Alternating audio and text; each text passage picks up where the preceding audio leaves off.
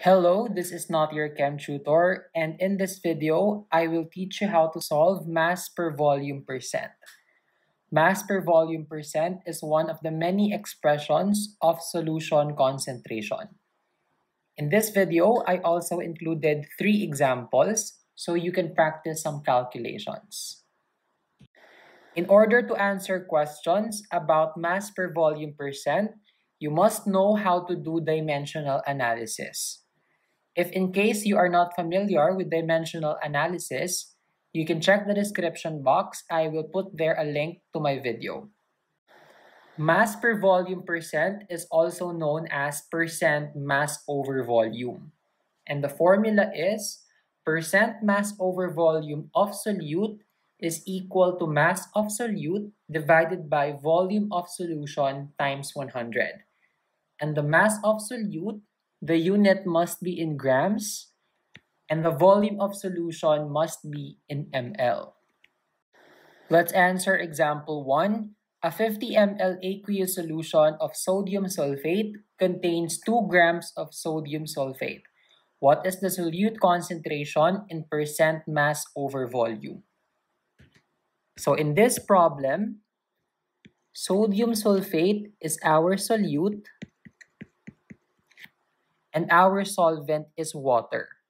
When you encounter this word aqueous, this means the solvent is water. So we will use the formula percent mass over volume is equal to mass of solute in grams. We are given 2 grams of the solute divided by volume of solution in ml. And we are given 50 ml of the solution.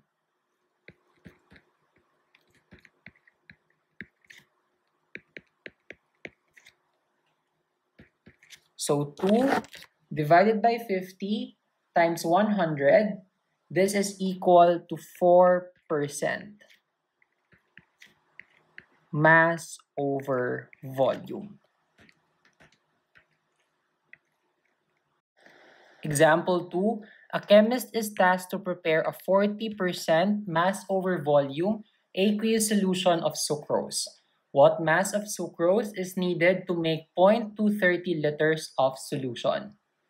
So in this problem, sucrose is our solute and water is our solvent because the solution is aqueous. We will still use the formula, but this time we are given the percent mass over volume, which is 40%. So 40, that is equal to mass of solute in grams, which is not given. So just write mass of solute divided by volume of solution. In our problem, we are given 0.230 liters of solution. And we need ml. The formula says we need ml.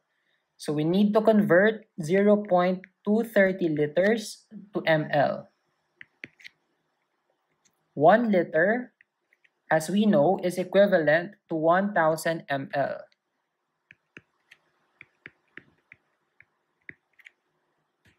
So liters will cancel. So 0.230 times 1,000, this is equal to 230 ml. So this is the volume of the solution in ml. So you put 230 and then times 100. So to solve for the mass of solute, what you need to do is to divide both sides of the equation by 100. So 100 will cancel on the right side. And what remains on the right side is mass of solute divided by 230. And on the left side, you have 40 divided by 100. That is 0 0.4. Then you multiply both sides of the equation by 230. 230 will cancel on the right side and what remains on the right side is mass of solute. And on the left side, you have 230 times 0.4. This is equal to 92. And what is the unit of mass according to the formula? Mass of solute is in grams. So the answer to this question is 92 grams of solute. Our last example is example 3. The concentration of acetic acid in a vinegar sample is 5% m over v. What volume of the sample contains 4 grams of acetic acid? So acetic acid is our solute. We will still use the formula this time, we are given percent mass over volume, which is 5%. So 5 is equal to, the mass of solute is also given 4 grams of acetic acid. So 4.00 divided by the volume of solution, which is missing in the problem. So just put volume of solution and then times 100. Don't forget the times 100. So we will solve the volume of solution. So to do that, we divide both sides of the equation by 100. So 100 will cancel on the right side and what remains on the right, right side is 4.00 divided by volume of solution. And on the left side, 5 divided by 100, that is 0 0.05. Next is to multiply both sides of the equation by volume of solution.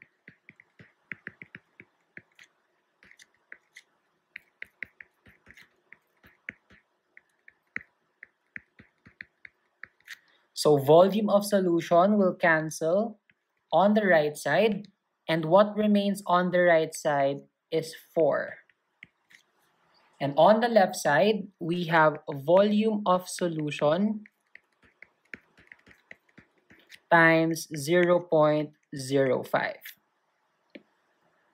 Now divide both sides by 0 0.05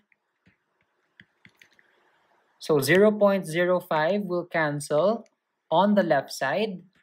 So what remains on the left side is volume of solution. And on the right side, 4 divided by 0.05, that is equal to 80. And what is the unit of volume in the formula? The unit is ml. So the volume of solution is 80 ml.